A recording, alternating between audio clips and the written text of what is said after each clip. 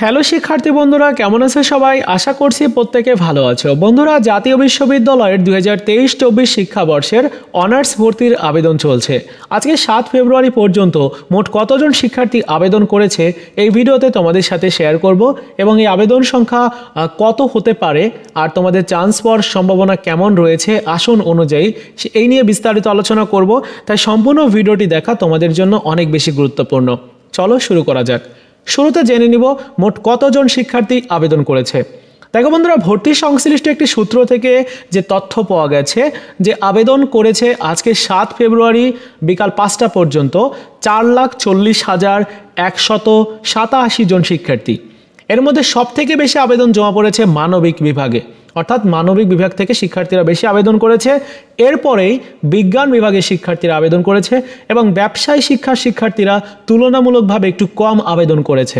কোন বিভাগ থেকে কতজন শিক্ষার্থী আবেদন করেছে এই নিয়ে সুনির্দিষ্ট কোনো তথ্য পাওয়া যায়নি এবং ভর্তি সংশ্লিষ্ট কর্মকর্তা জানিয়েছেন যে আগামীকাল এই সংক্রান্ত আপডেট আপনাদেরকে দেওয়া হবে। অর্থাৎ আগামীকাল তোমরা জেনে যেতে পারবে যে কতজন আবেদন করেছে এবং কোন বিভাগ থেকে কতজন বিশেষ করে আবেদন করেছে। যেহেতু আবেদন এখনও পর্যন্ত শেষ হয়নি, এজন্য তিনি আরও জানিয়েছেন যে আরও প্রায় দেড় লাখ শিক্ষার্থী আবেদন করতে পারে এবং মোট আবেদন সংখ্যা জমা হতে পারে পাঁচ লাখ পঞ্চাশ হাজারেরও বেশি। প্রায় ছয় লাখের কাছাকাছি। মানে এরকমটাই হতে পারে। তাহলে আমরা যদি একটু পরিসংখ্যানটা দেখি, দেখো বন্ধুরা, মোট আসন রয়েছে হচ্ছে চার লক্ষ ছত্রিশ হাজার প্লাস। আর আবেদন যদি করে, পাঁচ লক্ষ পঞ্চাশ হাজার প্লাস। আমি ধরে নিচ্ছি পঞ্চাশ হাজার প্লাস শিক্ষার্থী আবেদন করল। তাহলে কতজন শিক্ষার্থী চান্স পাচ্ছে না? একটু তোমরা একটু ক্যালকুলেশন করে নাও। প্রায় এক লক্ষেরও বেশি শিক্ষার্থী কিন্তু চান্স পাচ্ছে না। যদি এক, পাঁচ লক্ষ পঞ্চাশ হাজার আমি ধরি, তাহলে আর যদি তার থেকে বেশি হয়, সেক্ষেত্রে কিন্তু আরও বেশি শিক্ষার্থী চান্স পাবে না। মানে অনার্সের ভর্তির প্রক্রিয়া শেষ হয়ে যাবে, তাও চান্স পাবে না তারা। আর বাকি শিক্ষার্থীরাও, তারা অনেকে আছে, বিভিন্ন বেসরকারি কলেজগুলোতে ভর্তি হবে না। সেক্ষেত্রে এমন হবে, চার লক্ষ ছত্রিশ হাজার আসন থাকলেও চার লাখ বা চার লাখের আশেপাশে শিক্ষার্থী এই শিক্ষার্থীগুলো ভর্তি হতে পারবে। একদম কমপ্লিটলি ভর্তি ভর্তি হতে পারবে। কারণ প্রত্যেকের তো আলাদা আলাদা কলেজ পছন্দের রয়েছে, সেই কলেজগুলোতে ভর্তি হয়ে যাবে। তো যাই হোক, সর্বশেষ যে আপডেট রয়েছে আমি তোমাদেরকে জানালাম।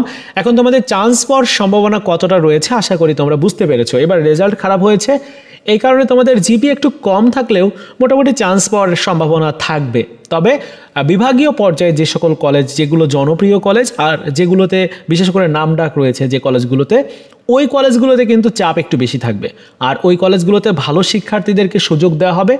আর যারা তুলনামূলকভাবে একটু দুর্বল শিক্ষার্থী, তাদেরকে কিন্তু ওয়েটিং লিস্টে রাখা হবে। কারণ ওয়েটিং লিস্টে রাখিয়ে এমন দেখা হবে যে কোন শিক্ষার্থী ভর্তি হচ্ছে না এবং কতগুলো আসন ফাঁকা থাকছে। এটার উপর ডিপেন্ড করে ওয়েটিং লিস্টে শিক্ষার্থীদেরকে আবার সুযোগ দিবে। এই হচ্ছে প্রক্রিয়া এবং যদি ওয়েটিং লিস্টেও তোমার না হয়, তখন তোমাকে কিন্তু আবার রিলিজ স্লিপে গিয়ে পাঁচটি কলেজ আবেদন করতে হবে। তো আমরা ওই বিষয়টি একটু স্কিপ করি এবং মোটামুটি তোমরা জেনে রাখো যে জিপিএ যদি কমও থাকে, তাহলে তোমার একটা চান্স পাওয়ার সম্ভাবনা রয়েছে। তবে বিভাগীয় পর্যায়ের সরকারি কলেজগুলোতে একটু প্রেশার বেশি থাকবে এখানে জিপিএ যাদের বেশি থাকবে, তাদেরকে সুযোগ দেওয়া হবে।